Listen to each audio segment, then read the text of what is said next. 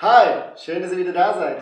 Wir haben einige Roborock-Tests in letzter Zeit an den Start gebracht und wir haben eure Fragen nach der Roborock-App gehört. Und deswegen soll es heute nicht um die Geräte und die Stationen an sich gehen, sondern wir wollen euch durch die Roborock-App führen. Wir wollen euch ein paar Tricks und ein paar Tipps geben, wie ihr am besten und am effizientesten mit der App umgeht. Übrigens, wenn du bis zum Ende bleibst, dann zeige ich dir, welche Probleme bei der Roborock-App am häufigsten auftreten und wie ihr die lösen könnt.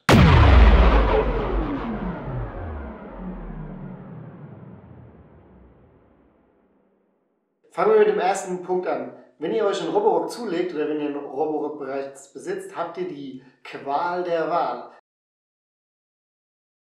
Es gibt nämlich die hauseigene Roborock-App und es gibt die App von Xiaomi, zu der Roborock ja gehört, die könnt ihr auch benutzen. Und die Entscheidung ist eigentlich relativ easy. Wenn ihr mehrere Smart Home Geräte von Xiaomi verwenden wollt, dann ergibt es durchaus Sinn, auch mal die Xiaomi App zu benutzen, um den, Rob um den Roborock da einzubinden.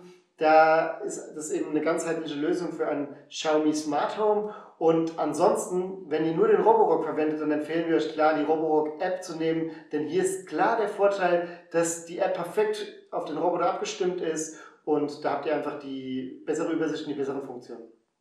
Dazu kommt, dass wenn ihr die Roborock App benutzt, dass da die neuen Features immer viel schneller aufgespielt werden und die Updates immer schneller da sind. Genauso wie die Fehlerbehebung natürlich. Okay, dann lass uns jetzt mal tief in die App eintauchen. So, auch bei eurem Roboter und bei der Einrichtung der App könnt ihr natürlich auf den Datenschutz achten. Und die erste Aktion, die ihr euch überlegen müsst bei der Einrichtung der App, ist hier am Anfang werdet ihr gefragt, ob ihr die Daten für die Analyse und zur Verbesserung der Produkte etc. freigeben wollt. Und ich tendiere bei diesen Dingen auf Stoppen bzw. nicht annehmen zu klicken. Das wird euer Gerät nicht im geringsten beeinflussen oder die Funktionsweise eures Geräts nicht im geringsten beeinflussen und ihr gebt nicht alle Daten direkt her. Dann schauen wir uns mal hier an, was es unter dem Reiter Profil gibt. Da gibt es nämlich ein paar interessante Optionen. Zunächst mal natürlich euer Profil hier oben. Dann kann man hier einstellen, ob man das automatische Firmware update möchte oder nicht. Ich rate euch dazu, dass ihr hier auf jeden Fall automatisch einstellt, damit ihr eben aktuell seid und keine Sicherheitslücken entstehen. Dann, das ist ein interessanter Punkt hier, die Gerätefreigabe. Da könnt ihr zum einen Freigaben erhalten, aber man, ihr könnt auch Geräte freigeben, zum Beispiel für euren Partner, eure Partnerin.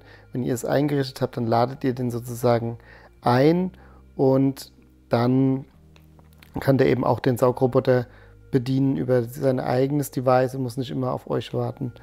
Dann haben wir hier den Punkt Sprachsteuerung, der ist auch sehr nützlich. Wir benutzen zum Beispiel zu Hause ähm, Apple Siri, also das HomeKit, und da könnt ihr hier einfach Sprachbefehle hinzufügen, mit denen ihr dann euren Roboter über, den, über das HomeKit oder Google Home oder was auch immer ihr benutzt, Alexa, losschicken könnt. Einfach hier hinzufügen, da kriegt ihr hier so vorgefertigte Ideen und dann könnt ihr die hinzufügen und könnt die dann auch noch individualisieren. Sehr cool. Hilfe und Feedback ist klar, denke ich. Über uns ist auch ganz spannend, kann man mal reingucken. Da findet man die, die Datenschutzverordnung und so.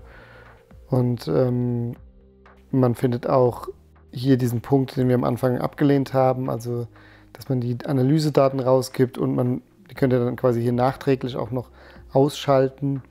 Und dann hier, das ist auch ganz nett, über Roborock, da findet ihr zum Beispiel die Werte von Roborock, die Meilensteine des Unternehmens, wen es interessiert.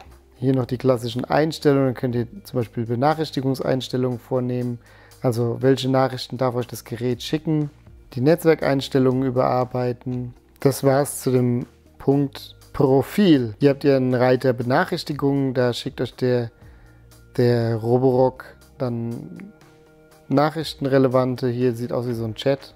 Ne? Da steht jetzt Reinigung abgeschlossen und so weiter. Die Hauptbürste hat sich verheddert. Ja, das sind eben die Kommunikationsmöglichkeiten eures Roboters damit ihr immer auf dem Laufenden seid, wo und was gerade abgeht. Was sehen wir hier? Hier sehen wir den Hauptteil der App sozusagen. Die Roborock-App ist sehr übersichtlich gestaltet, wie ihr seht. Auch hier sind schon einige nützliche Features zu sehen. Wir haben hier zum einen die Geräte, die quasi integriert sind in die App, angemeldet sind bei der App. Wir nehmen mal hier unseren Roborock S7 Max V, der ist auch online. Ihr seht hier den Status. Dann seht ihr hier Schnellaktionen. Da kann man auch weitere Lieblingsaktionen, wie Roborock es nennt, hinzufügen. Zum Beispiel eine Reinigung nach der Mahlzeit. Die kann man dann auch bearbeiten und sagen, das und das soll nach jeder Mahlzeit gemacht werden und per Knopfdruck dann hier aktivieren. Gehen wir in das Gerät, da geht man hier auf die Eingabe und dann, was sehen wir hier als allererstes? Eine kleine Übersicht über das Gerät, über den Status des Geräts und über den Raum, beziehungsweise der gereinigt werden soll, in Kartenformat. Ja, also hier oben sieht man die Größe der Reinigungsfläche, den Akkustand und die letzte Reinigungsdauer. Und dann hat man verschiedene Menüs. Man sieht hier ein kleines Quick-Menü.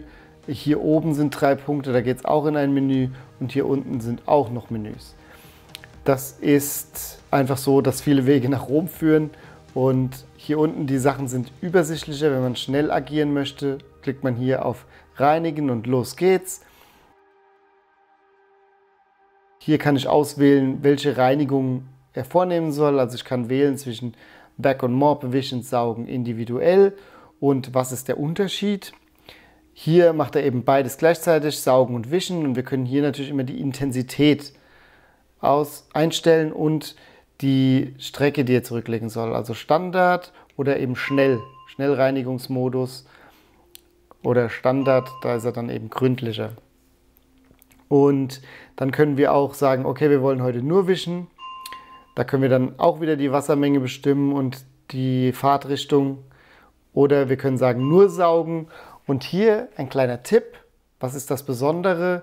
Wir haben hier genauso wie beim Werk und Mob vier Saugstufen. Aber wenn wir nur saugen lassen, haben wir sogar noch eine fünfte Saugstufe, die Max Plus.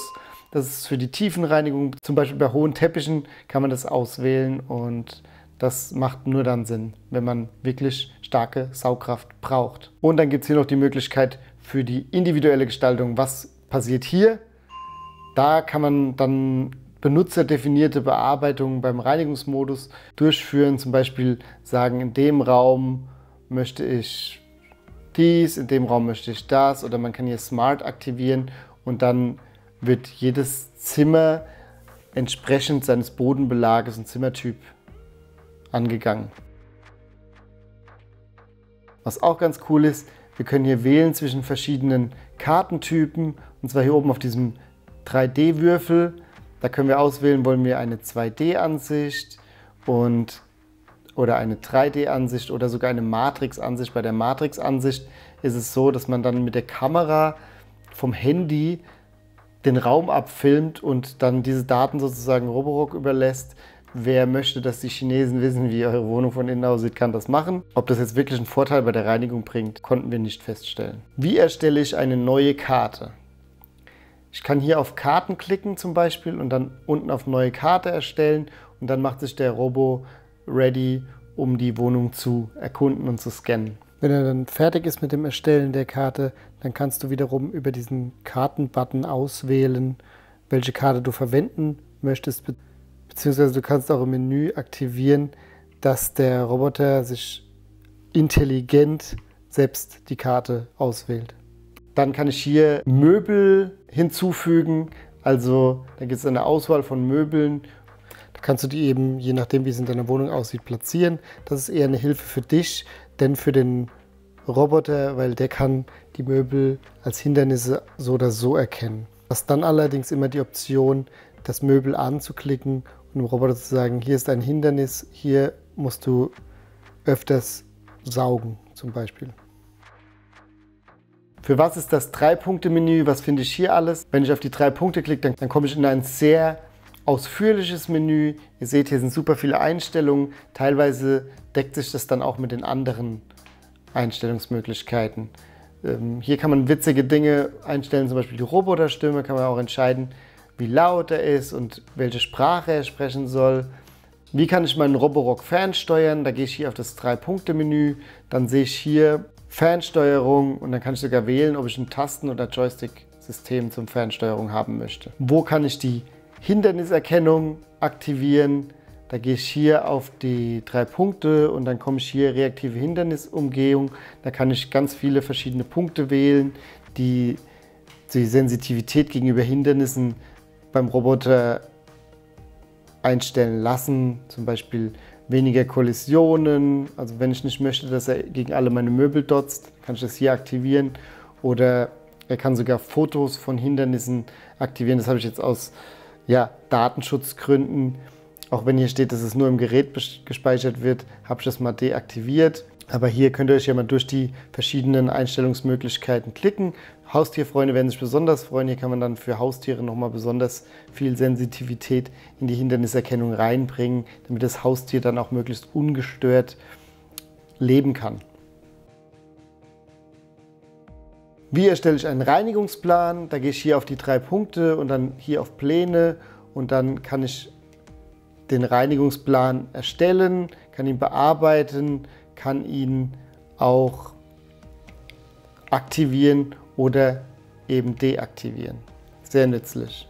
Was uns vielleicht noch fehlt in der Roborock-App ist eine Erinnerungsfunktion, zum Beispiel wenn wir einen Plan haben, habe ich euch ja gezeigt, wie man den einrichtet, dann legt der Roboter dann zum Beispiel um 10 Uhr los zu putzen. Cool wäre, wenn man halt vorher benachrichtigt wird, dass der Roboter einem sagt, hier, füll mal bitte das Frischwasser auf und mach mal den richtigen Reiniger rein, damit ich dann um 10 Uhr auch wirklich wischen kann. Übrigens, wenn ihr ein richtiges Reinigungsmittel braucht, dann könnt ihr auch mal in der Beschreibung schauen, da habe ich euch einen Link mit Rabattcode hinterlegt. Kann ich auch meine Servicestation über die App steuern. Natürlich kann man auch die Roborock Service Station über die App steuern. Wir gehen hier auf das Drei-Punkte-Menü, dann gehen wir zur Einstellung der Docking Station und hier können wir wichtige Einstellungen vornehmen bezüglich der Mobwäsche. Wir können hier das Intervall steuern. Wenn wir jetzt alle 10 Minuten soll der Mob während des Reinigens ausgewaschen werden. Dadurch haben wir einen möglichst sauberen Mob während des Putzens. Das braucht ein bisschen mehr Wasser, aber dafür wird der Boden auch sauberer.